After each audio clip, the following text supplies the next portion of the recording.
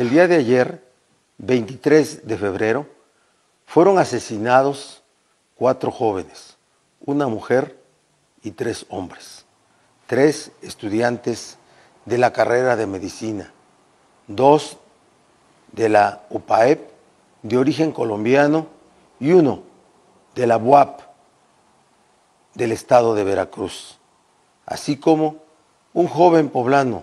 conductor del servicio de Uber. Los lamentables, reprobables e inaceptables hechos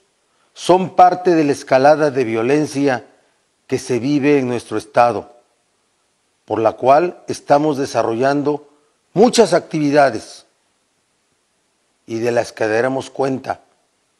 a ustedes, poblanas y poblanos. Primero,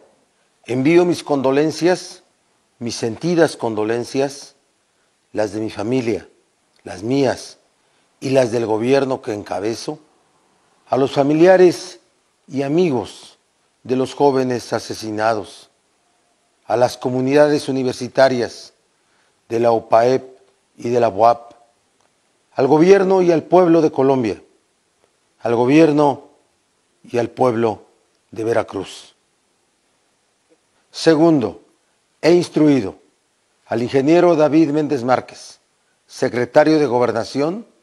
para que dé seguimiento, dé facilidades, permita llevar a cabo todo aquello que facilite las exequias de las personas asesinadas,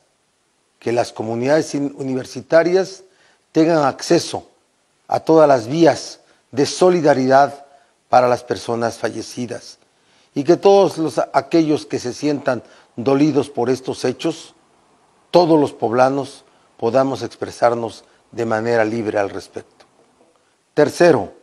de acuerdo a informes rendidos por la Fiscalía General del Estado, hay tres personas detenidas relacionadas con estos hechos y en curso una serie de diligencias que tienen que ver con el esclarecimiento de los mismos. Todo apunta a que pronto se judicializará a los responsables y serán llevados ante la justicia. Me comprometo a que no quedarán impunes estos asesinatos, ni ninguno